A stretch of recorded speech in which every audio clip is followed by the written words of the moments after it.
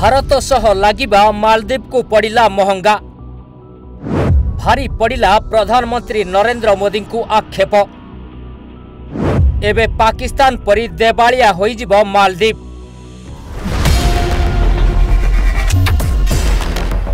ହଁ ଦର୍ଶକ ବନ୍ଧୁ ପ୍ରଧାନମନ୍ତ୍ରୀ ନରେନ୍ଦ୍ର ମୋଦିଙ୍କ ଉପରେ ଆପତ୍ତିଜନକ ମନ୍ତବ୍ୟ ଦେବା ମାଳଦ୍ୱୀପକୁ ମହଙ୍ଗା ପଡ଼ିଛି।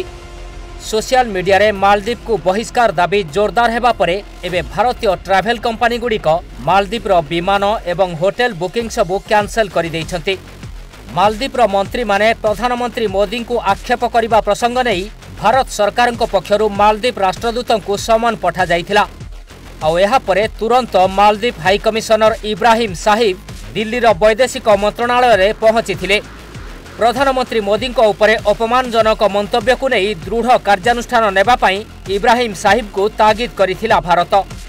ଆଉ ଏହାପରେ ମାଳଦ୍ୱୀପ ସରକାର ତୁରନ୍ତ ଆପତ୍ତିଜନକ ଟିପ୍ପଣୀ ଦେଇଥିବା ତାଙ୍କର ତିନି ଜଣ ମନ୍ତ୍ରୀଙ୍କୁ ସସ୍ପେଣ୍ଡ କରିଥିବା ଖବର ମିଳିଛି। ନିକଟରେ ପ୍ରଧାନମନ୍ତ୍ରୀ ନରେନ୍ଦ୍ର ମୋଦିଙ୍କ ଲାକ୍ଷାଦ୍ୱୀପ ଗସ୍ତ ସମୟର କିଛି ଫଟୋ ସୋସିଆଲ ମିଡିଆରେ ବେଶ୍ ଭାଇରାଲ ହୋଇଥିଲା।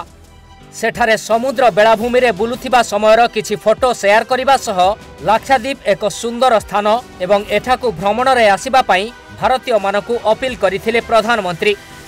ସୋସିଆଲ ମିଡିଆରେ ମଧ୍ୟ ବହୁ ସଂଖ୍ୟାରେ ୟୁଜର୍ସ ଲାକ୍ଷାଦ୍ୱୀପକୁ ମାଲଦ୍ୱୀପ ସହ ତୁଳନା କରିଥିଲେ ଏବଂ ଏହା ଖୁବ୍ ସୁନ୍ଦର ସ୍ଥାନ ବୋଲି କହିଥିଲେ।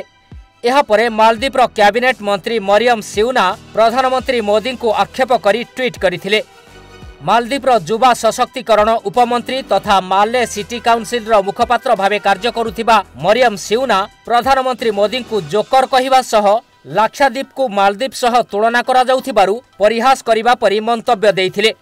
ଖାଲି ସେତିକି ନୁହେଁ ତାଙ୍କ ପରେ ପରେ ମାଲଦ୍ୱୀପର ଅନ୍ୟ ଦୁଇ ଜଣ ମନ୍ତ୍ରୀ ମାଲସା ଶରିଫ ଏବଂ ମହଜୁମ ମାଜିଦ ମଧ୍ୟ ପ୍ରଧାନମନ୍ତ୍ରୀ ମୋଦିଙ୍କୁ ଆକ୍ଷେପ କରି ଟ୍ୱିଟ୍ କରିଥିଲେ। ଏହାସହ ତାଙ୍କ ଦେଶର ଅନ୍ୟ ଜଣେ ରାଜନେତା ଜାହିଦ ରମିଜ ମଧ୍ୟ ସମାନ ଢଙ୍ଗରେ ଟ୍ୱିଟ୍ କରି ମୋଦିଙ୍କ ଲାକ୍ଷାଦ୍ୱୀପ ଭ୍ରମଣକୁ ଆକ୍ଷେପ କରିଥିଲେ ତେବେ ଏହି ପ୍ରସଙ୍ଗକୁ ନେଇ ଭାରତ ସରକାର ମାଲଦ୍ୱୀପର ମହମ୍ମଦ ମୁଇଜୁ ସରକାରଙ୍କ ପାଖରେ ଉଠାଇଥିଲେ ଆଉ ଜବାବରେ ମାଲଦ୍ୱୀପ ସରକାରଙ୍କ ପକ୍ଷରୁ କୁହାଯାଇଥିଲା କି ଏହା ମନ୍ତ୍ରୀମାନଙ୍କ ବ୍ୟକ୍ତିଗତ ମତ ସେମାନଙ୍କ ମତ ମାଲଦ୍ୱୀପ ସରକାରଙ୍କ ବିଚାରକୁ ପ୍ରତିନିଧିତ୍ୱ କରୁନାହିଁ ହେଲେ ଏଭଳି ଜବାବରେ କିନ୍ତୁ ସନ୍ତୁଷ୍ଟ ହୋଇନଥିଲେ ଭାରତ ସରକାର ମାଲଦ୍ୱୀପରେ ଅବସ୍ଥାପିତ ଭାରତୀୟ ହାଇକମିଶନର ମୁନୁ ମହାବର ଏଭଳି ଉତ୍ତରକୁ ନେଇ ଦୃଢ଼ ଆପତ୍ତି ଦର୍ଶାଇଥିଲେ। ଆଉ ଭାରତର କଠୋର ଆଭିମୁଖ୍ୟ ଦେଖି ମାଲଦ୍ୱୀପ ସରକାର ତୁରନ୍ତ ପଦକ୍ଷେପ ନେବା ସହ ତିନି ଜଣ ମନ୍ତ୍ରୀଙ୍କୁ ନିଲମ୍ବିତ କରିଛନ୍ତି। ପ୍ରଧାନମନ୍ତ୍ରୀ ମୋଦିଙ୍କ ଉପରେ ଆପତ୍ତିଜନକ ଟିପ୍ପଣୀ ଦେଇଥିବା ମାଲଦ୍ୱୀପର ତିନି ଜଣ ମନ୍ତ୍ରୀ ମରିୟମ ସିଉନା ମହଜୁମ ମାଜିଦ ଏବଂ ମାଲସା ଶରିଫଙ୍କୁ ମୁଇଜୁ ସରକାର ସସ୍ପେଣ୍ଡ କରିଛନ୍ତି। ତେବେ ମାଲଦ୍ୱୀପର ପୂର୍ବତନ ରାଷ୍ଟ୍ରପତି ଇବ୍ରାହିମ ମହମ୍ମଦ ସୋଲିହ ଏହି ଘଟଣାକୁ ନେଇ ନିଜ ଦେଶରେ କ୍ଷମତାସୀନ ସରକାରର ମନ୍ତ୍ରୀମାନଙ୍କୁ ନିନ୍ଦା କରିଛନ୍ତି। ସେ କହିଛନ୍ତି କି ଭାରତ ସବୁବେଳେ ମାଲଦ୍ୱୀପର ଭଲ ବନ୍ଧୁ ହୋଇ ରହିଆସିଛି। ତେଣୁ ମାଲଦ୍ୱୀପର ମନ୍ତ୍ରୀମାନଙ୍କର ଭାରତ ବିରୋଧରେ ଏଭଳି ଘୃଣ୍ୟ ଭାଷା ବ୍ୟବହାର ଅତ୍ୟନ୍ତ ନିନ୍ଦନୀୟ। ତେବେ ସବୁଠାରୁ ବଡ଼ କଥା ହେଉଛି କି ପ୍ରଧାନମନ୍ତ୍ରୀ ମୋଦିଙ୍କ ଲାକ୍ଷାଦ୍ୱୀପ ଗସ୍ତକୁ ନେଇ ମାଲଦ୍ୱୀପର ମନ୍ତ୍ରୀମାନେ ଆପତ୍ତିଜନକ ଟିପ୍ପଣୀ ଦେବା ପରେ ଭାରତରେ ଏହାକୁ ତୀବ୍ର ବିରୋଧ କରାଯାଇଛି।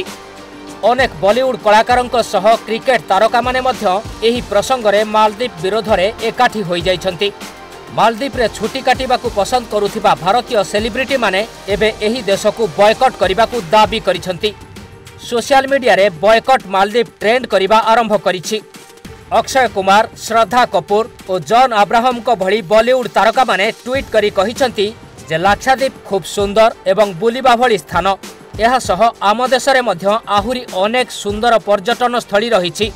ଏବେ ଏସବୁକୁ ମନେ ପକାଇବାର ସମୟ ଆସିଛି। ସୁପରଷ୍ଟାର ଅକ୍ଷୟ କୁମାର କହିଛନ୍ତି କି ଭାରତୀୟ ଜନସାଧାରଣଙ୍କୁ ନେଇ ମାଲଦ୍ୱୀପର ପ୍ରମୁଖ ବ୍ୟକ୍ତିମାନଙ୍କ ଘୃଣ୍ୟ ଏବଂ ଜାତିଗତ ମନ୍ତବ୍ୟ ଦେଖିବାକୁ ପାଇଲି। ଆମେ ପଡ଼ୋଶୀମାନଙ୍କ ସହିତ ଭଲ କିନ୍ତୁ ଏଭଳି ଘୃଣାକୁ ସହିବା କାହିଁକି? ଏପରିକି କ୍ରିକେଟ କିମ୍ବଦନ୍ତୀ ସଚିନ ତେନ୍ଦୁଲକରଙ୍କ ସହ ବୀରେନ୍ଦ୍ର ସେହୱାଗ ସୁରେଶ ରୈନା ଏବଂ ଆହୁରି ଅନେକ ପୂର୍ବତନ କ୍ରିକେଟ ତାରକା ମଧ୍ୟ ଏହି ପ୍ରସଙ୍ଗରେ ଟ୍ୱିଟ୍ କରିଛନ୍ତି।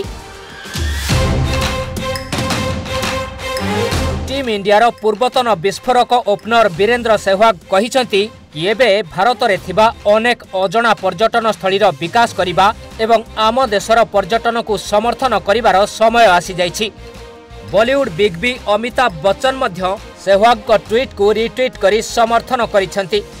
ଏକ ରିପୋର୍ଟ ଅନୁଯାୟୀ ପ୍ରଧାନମନ୍ତ୍ରୀ ମୋଦିଙ୍କୁ ଆକ୍ଷେପ ପରେ ଭାରତରୁ ମାଲଦ୍ୱୀପକୁ ଦୁଇ ହଜାର ପାଞ୍ଚଶହରୁ ଅଧିକ ବିମାନ ଟିକେଟ୍ କ୍ୟାନ୍ସେଲ୍ ହୋଇଥିବା ବେଳେ ଆଠ ହଜାରରୁ ଅଧିକ ହୋଟେଲ ବୁକିଂ ମଧ୍ୟ ବାତିଲ ହୋଇଛି।